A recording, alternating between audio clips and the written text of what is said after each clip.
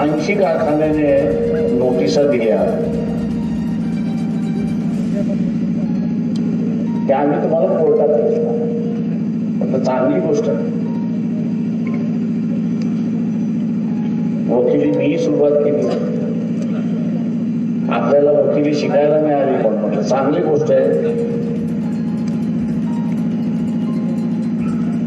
वसंतदारांची भेट झाली का ते त्यावेळेस संघाचे असणारे अध्यक्ष होते म्हटले प्रकाश तुम्ही हे काय केलं? म्हटलं दादा एक कोणतरी सांगा की आपल्या ह्या चेअरमन आणि डायरेक्टर पैकी कोणाची तरी असणारी जमीन साडेचार एकराच्या वरती होती काही होत सांगा.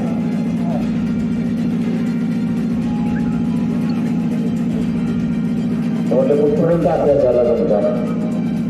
म्हटलं पूर्ण अभ्यास आहे.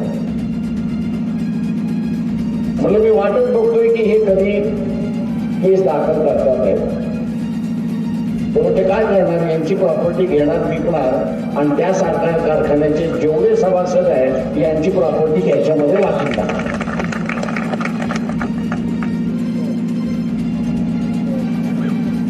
ते एवढं सगळं आहे. म्हटलं एवढं सगळं आहे. काय नवीन आहे? म्हटलं होतं आपण सगळेजण म्हटलं होतं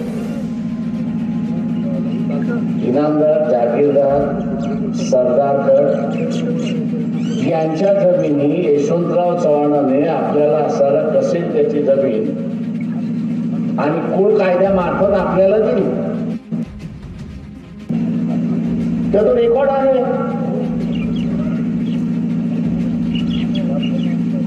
यशवंतराव चव्हाणाने तो साठ साली केलेला फायदा होता. कसेल त्याची जमीन कुळ कायद्याचा कायदा केला. पण त्यातून आपलं असणारं जमिनीचे मालक झालो. त्याच्या अगोदर आपण असायला भूमी होतो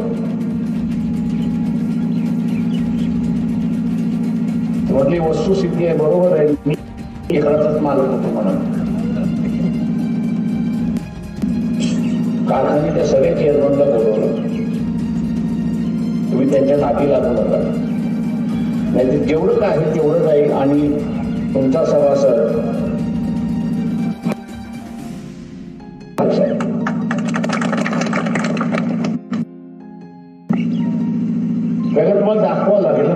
ना कुठला तरी कारखाना तुम्ही उभा केला आहे कुठलं काम केलेलं आहे व्यापार केलेला आहे अमुक केलेला आहे तिथून असणारी तुमची संपत्ती आहे.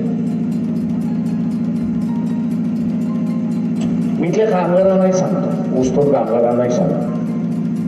गरज कोणाची?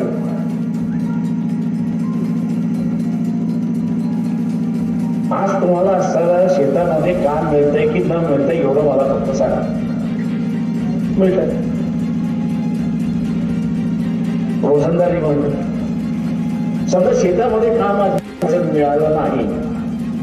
तर रोजगार योजना आपली आहेच. अर्ज द्यायचा. तीन दिवसामध्ये काम दिलं पाहिजे. तीन दिवसामध्ये काम दिलं नाही तर रोजगार भत्ता दिला पाहिजे. आपल्याकडे ऑप्शनच ऑप्शन आहे. कामगाराकडे हा जो रोजगार आणि योजनेचा कायदा बागे साहेबांनी केला. स्पीकर होते. त्यांनी आपल्याला असं ऑप्शनच दिलं. मध्ये ऊस तोडणीमध्ये थोडा जास्ती पैसा मिळतो याच्याबद्दल दुर्मत पण गरज कोणाला गरज आपल्याला नाही गरज त्याला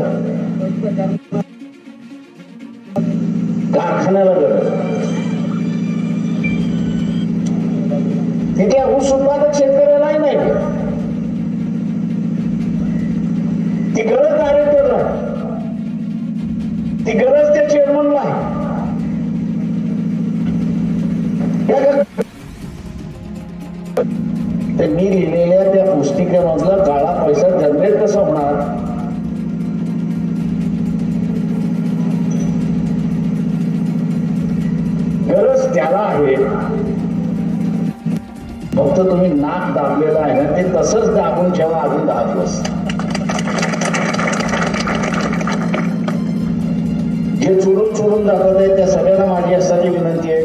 जबरदस्तीने घेऊन चाललेले आहे. तुम्ही असला जिथं पोलीस स्टेशन मिळेल पोलीस दिसेल त्याचा हात करा. आणि म्हणा हे मला जबरदस्तीने घेऊन चाललेले आहे. चुकून माकून असं घेऊन चालणं चाललेलं आहे.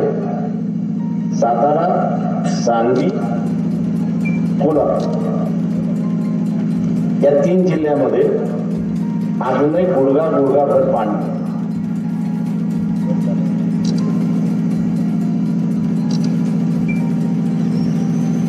इथलीच लोक पूर्णपणे कंटाळलेली आहेत पाण्यामध्ये आहे. आमच्यासारखं पाणी नव्हतं पण यावेळेसचं पाणी कमी आहे. त्याच्यावर खान धंदा नाही. एक दोन व्हिडिओ तिथल्या घेऊन चोरून घेऊन गेलेल्या वस्तू कामगारांचे व्हायरल झालेले त्याचे हाल आपण असं बघताय. साधे राहायला जागा नाही. कुठेतरी असताना कारखान्याने त्यांना असताना ओसरीला ठेवलेलं. आहे. ही संधी आलेली आहे आपल्याला. की काही गोष्टी शासनाकडून करून घेणे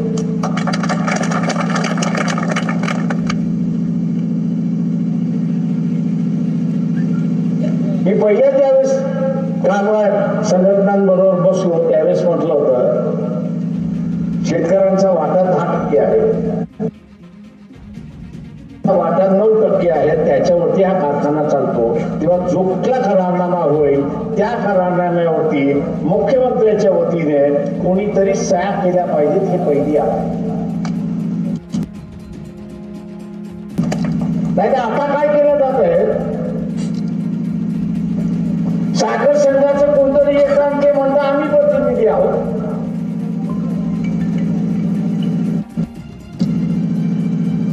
त्याच्यामध्ये त्यांनी असं एक संस्था केलेली आहे. ज्याचा ऊस आहे त्याच्याकडून असणारे कापणीचे पैसे घेतात. आणि करारनामा जो आहे त्या संस्थेमार्फत केला मी म्हणजे आपला करारनामा कारखान्याबरोबर सुद्धा नाही. कारखान्याने केलेल्या संस्थेबरोबर होतो अशी असणारी परिस्थिती आहे की ज्याला कुठलाही कायद्याचा आधार राहत नाही हे आपण लक्षात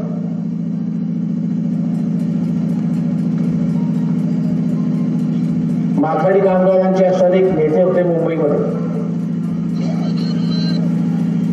एकोणऐंशी ऐंशी साली. अण्णासाहेब पाटील. आणि विद्यार्थी कॉलेजमधून जस्ट बाहेर पडतो येतो ऑफिस बायकाला बँकेच्या बाजूला. तेव्हा आम्ही कधी कधी जायचो.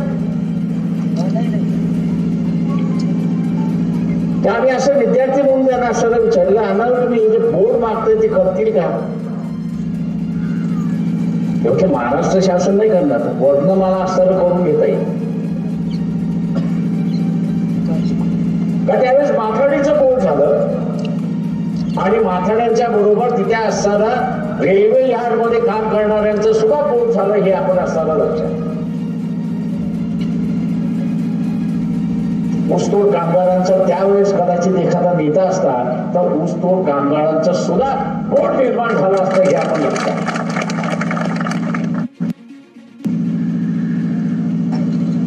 गोपीनाथजी माझ्या व्हायची तेव्हा त्याला सहित लई विरोध आहे.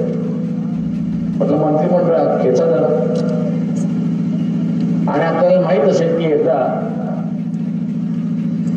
त्यांनी तो मुद्दा कॅबिनेटमध्ये लावून धरला की आपण असा पोट धरला पाहिजे.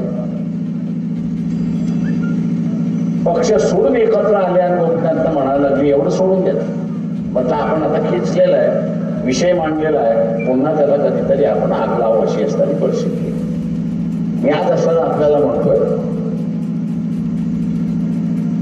तीच ती गरज त्या कारखान्याच्या डायरेक्टरला आहे कारखान्याच्या चेअरमनला आहे. त्या कारखान्याच्या सगळ्या गोष्टीवरती मिळालेल्या आमदार आणि खासदाराला आहे. आणि सगळ्यात महत्वाचं ही जी शुअर लॉबी जी आहे त्याला गरजेचं आहे. कारण त्याचं सगळं राजकारण त्या खाण्याच्या पैशावरती चालतंय हे आपण लक्षात त्याच्यामुळे आज आपण सरळ दाबला.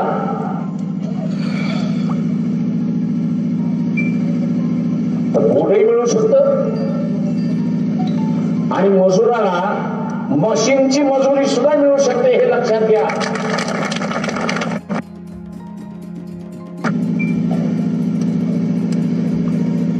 हे कारखाने मजुराला कधीच सोडणार नाही. आणि शंभर टक्के कापणी हे मशीनवरती आणणारच नाही. नागनाथ अण्णा नायकवडी यांचं नाव आपण सगळ्यांनी ऐकलेलं असेल.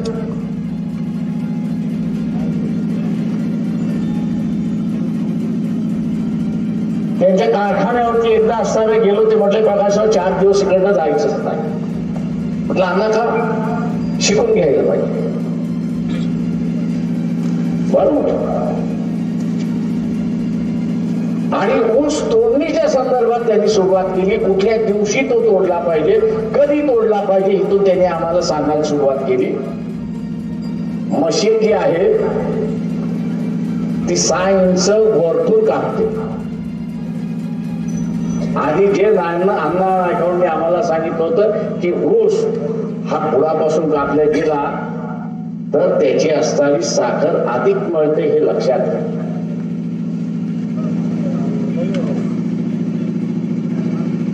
ते इंचाचं जे खोडं राहतं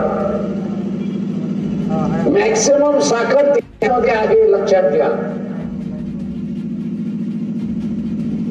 सगळ्या ऊस असताना मशीननी कापायचा ठरवला तर या साखर कारखान्याला कमीत कमी सातशे ते आठशे कोटी रुपयाचं नुकसान होणार आहे हे लक्षात घ्या. याचा अर्थ घालून धरलेला आणि म्हणून कारखाना मशीन पाहिजे तेव्हा असताना आपण वापरू शकतो. पैशाचा तुटवडा नाही. पण त्यांना माहितीये की मशीन आपण आणलं तर आपल्याला एक फुटाच्या अर्ध्या फुटावर आपण असं जे कापलं पाहिजे ती मशीन कापत नाही तर ती सहा फुटावरनं कापली अशी सहा इंचावरनं कापली अशी असणारी परिस्थिती आहे. आणि म्हणून आपल्याला साखरेचा प्रचंड मोठा लॉस आहे अशी असणारी परिस्थिती. जमेची बाजू ही आपली लंगडी बाजू त्यांची. जमेची बाजू आपली लग्नी बाजू इथे त्यांची आहे.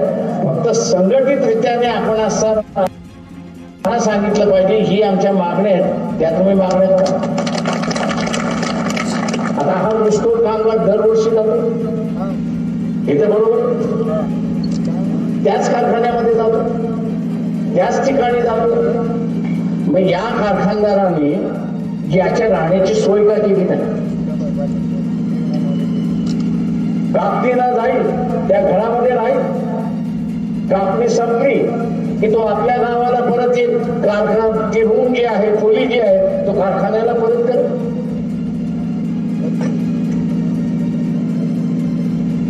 आणि या राहण्याची सोयचा प्रश्न जो आहे तो मिटल्याशिवाय राहणार एवढंच आहे की आपण त्याच्यावरती किती ठाम राहणार हा त्याच्यातला महत्त्वाचा मागचा पाच वर्षाचा करारनामा या ऑक्टोबरला संपला. नवीन करारनामा झाला पाहिजे. सरकार टाळमटाळ करतोय की इथला असताना हा करारनामा काढण्यासाठी. पंकजा मुंडे यांना असताना माझी विनंती आहे की हा तुमचा मतदारसंघ चाललेलं राजकारण आपण असताना बघा. दोन्ही बाजूने उद्ध्वस्त होत चाललेला तेव्हा तेव्हा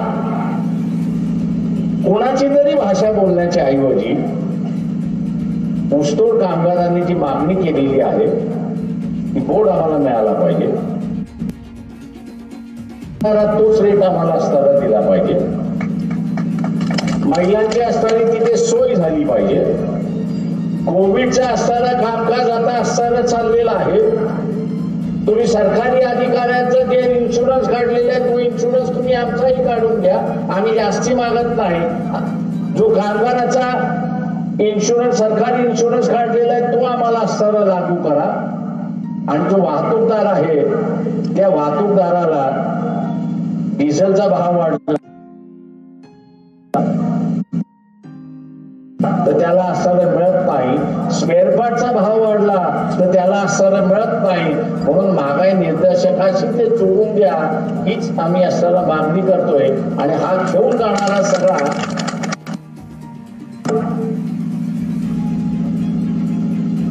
या मुकादमाला त्याचं असणारं जे कमिशन आहे ते डबल करा. हेच आम्ही त्या ठिकाणी मागतोय. नवीन काहीच मागत नाही. आणि कारखान्याला द्यायला काहीच अडचण नाही अशी असणारी परिस्थिती. मी नाव घेत नाही त्या अधिकाऱ्याचं. पण ती त्यांच्याशी असणारी चर्चा केली की आम्ही जी मागणी मागतोय याचा असताना बोजा कारखान्यावरती पडेल का?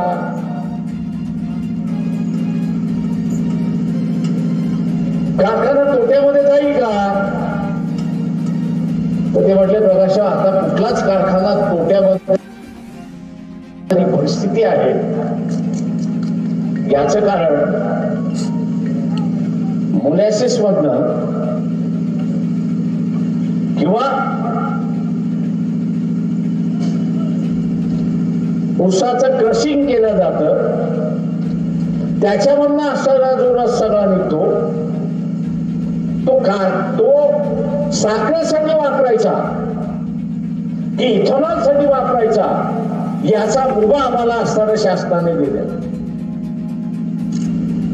पूर्वी बंधन होतं आता बंधन निघालेला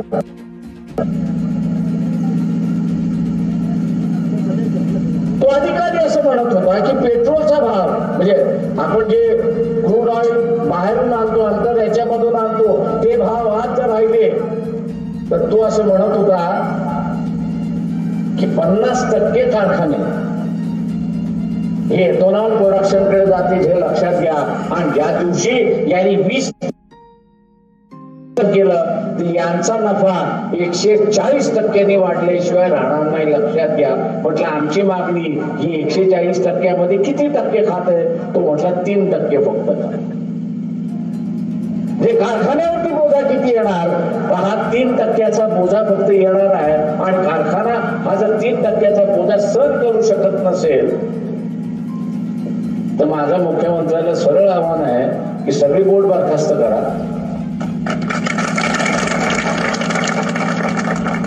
सगळी बोर्ड बरखास्त करा. तुम्ही आमच्या बरोबर करारनामा करा. मुख्यमंत्री बरोबर असताना करारनामा करा. पुन्हा इलेक्शन घ्या. नवीन बोर्ड येऊ द्या. आणि त्या नव्या बोर्डाला चालायला तुम्ही वापरा. काही जणांना असं वाटेल की आपण असताना कामगारांचा लढा म्हणतो आणि त्या बोर्डाचाही लढा म्हणतो आतापर्यंत बोर्डाबरोबर आपलं कधीच म्हणजे कारखान्याचं जे डायरेक्टर बोर्ड आहे त्याच्या बरोबर कधीच कोणा कुठल्याही कामगारांचा आणि कामगार संघटनेचा करारनामा झालेला नाही. होतो ती एक संस्था आहे. त्या संस्थेबरोबर करारनामा होतो. आणि त्या संस्थेमधला फंड कुठला आहे? तर शेतकऱ्याचा ऊस कापण्याचा असणारा जो काही हेवी लावला जातो. तो कोण नाही? त्याच्यातून कामगाराला पगार मिळ दिला जातो. कुठेही कारखान्याला आणि शासनाला त्याच्यामध्ये गुंतवलेलं नाही. पहिल्यांदा आपण असताना ही मागणी या ठिकाणी करतोय.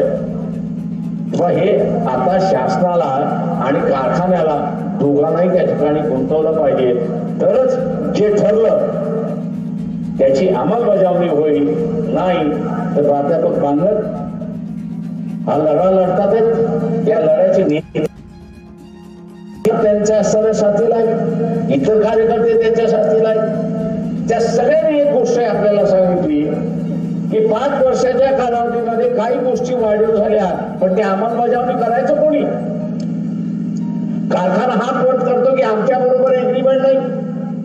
सरकार म्हणतं की आमच्या बरोबर नाही. आणि जी संस्था आहे. ती संस्था म्हणते की आम्हाला जो का, का जो निधी मिळतोय तो फक्त ऊसतोड कामगाराला काम जे का, कापणीचं काम करतोय त्यालाच देण्यामध्ये त्या ठिकाणी अशी असणारी परिस्थिती. आणि म्हणून मी जे कामगारांना आव्हान करणार आहे वाहतूकदारांना आव्हान करणार आहे त्याच्याच बरोबर इथला असणारा ठेकेदार जे आहेत त्यांनाही आव्हान करणार आहे कमिशन आहे त्यांनाही आव्हान करणार आहे. कारखाना चालू होणं ही त्यांची गरजेची बाब. आहे. कारखाना चालू होणं ही त्यांची गरजेची बाब आहे. आज जसं आपण तग धरून धरलोय तग धरलेला आहे. आपण जसं तग धरलेलं आहे मी सगळ्या ऊसतोड कामगारांना विनंती करतोय कमिशन एजंटवाल्यांना विनंती करतोय वाहतूकदारांना विनंती करतोय. तुम्ही असंच काही बसून राहा घट्ट बसून राहा कोणाला हू की चू करू नका फक्त एवढंच म्हणा करारनामा करा नावी तुम्ही करा नवा करारनामा करा आणि आम्ही येतो. मी अण्णा पाटलांचं नाव घेतलं याच्यासाठी की त्यांनी आखी गोटी गोदी बंद केली. त्यांनी अख्खा मुंबईमधलं असताना रेल्वेचं लोडिंग अनलोडिंग जे होतं ते बंद केलं होतं. कारण का? माथाडी कामगारच जात नव्हता. आणि त्यांनी माथाडी कामगाराला एवढंच सांगितलं की तुम्हाला यापुढे लढा लढण्याची गरज लागणार नाही. हे मी जे माथाडी बोर्डची मागणी मागितलेली आहे ही एवढी माथाडी माग माथाडी बोर्डाची मागणी जर झाली तर दर वर्षाला वजनावर दरावर मजुरी मिळायला आपल्याला असताना सुरुवात तुम्ही तो ऐंशीच्या संपानंतर कधी माथाडी कामगारांनी संप केला हा ऐकला का? अजिबात नाही. आणि का नाही? तर त्या बोर्डाला अधिकार देण्यात आले. त्या बोर्डाला अधिकार देण्यात आले. या माथाडी कामगाराची मजुरी काय असेल या बोर्डाने ठरवलं पाहिजे. आणि मग त्या बाजार समित्या असतील कारखानदार असेल इतर कोणी असेल त्याला ती बस करणं हे भाग आहे. नाही तर त्याच्यावरती दंड बसवले जातात. हे फौजदारी कारवाई. त्या माथाडी कामगारासा सारखाच ऊसतोड कामगाराचा बोर्ड तयार झाला.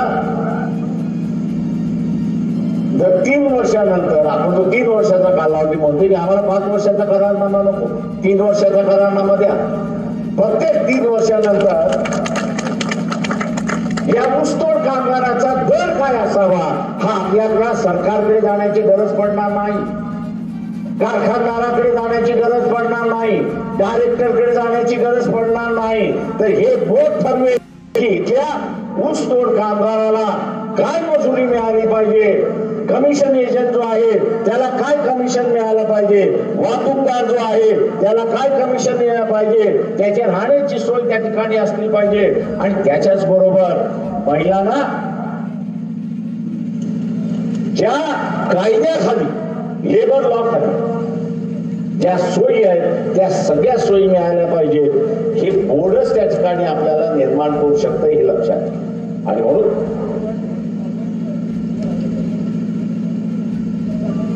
आपण आता सुरुवात केली. आपण आता सुरुवात केली.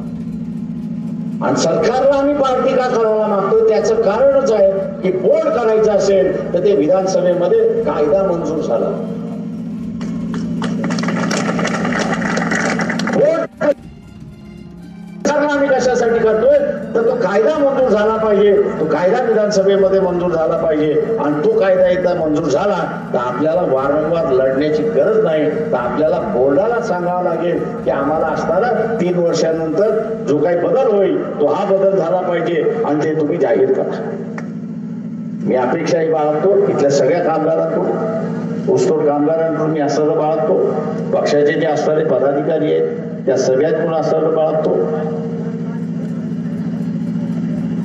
की आपण या लढ्याला यशस्वी करण्यासाठी यशस्वी करण्यासाठी जे जे योगदान करता येईल ते ते योगदान आपण केलं पाहिजे. सगळ्यात मोठं योगदान की करारनामा झाल्याशिवाय एकही कामगार गाडीत बसणार नाही ऊसतोड कामगार गाडीत बसणार नाही आपण लक्षात आतापर्यंत नाही तर बॉयलर चालू झाले असते. अजून बॉयलर चालू झालेले नाहीत. ते आज पसरवायला लागले की आम्ही एवढे कामगार घेऊन गेलो तेवढे कामगार घेऊन गेलोय. मी एकाला असं विचारलं घेऊन गेलं पण चांगली गोष्ट झाली. म्हटलं मी स्वागत करतो पण कामती का सुरुवात झाली नाही तेवढं मला सांग. तुमची कामती सुरुवात झाली असतं तर बॉयलरचं म्हटलं तर बटन दाबण्याच्या वर्तमानपत्रामध्ये ऍडव्हर्टाइजमेंट आल्या त्याही आल्या ना.